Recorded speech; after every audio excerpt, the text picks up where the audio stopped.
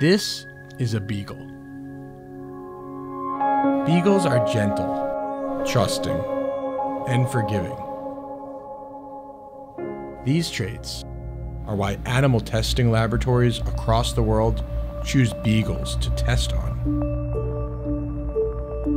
For their entire lives, they will sit alone in cages, their feet touching nothing but metal bars, used for things like laundry detergent and pharmaceuticals. Lab technicians prefer the beagle breed because they are gentle and won't bite back. At Beagle Freedom Project, it's our mission to free these beagles. And after years in a cage,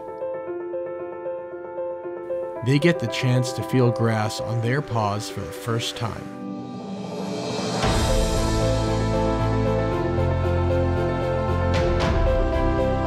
We place them in loving homes. We educate the public about what goes on in the labs. And we pass laws It's called the Beagle Freedom Bill. that can end animal testing for good. The governor today proclaiming Beagle Freedom Project Day. Because beagles, these loving, affectionate creatures, don't deserve this.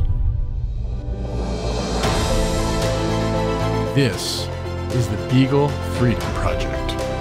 No more cages. Welcome to your new life.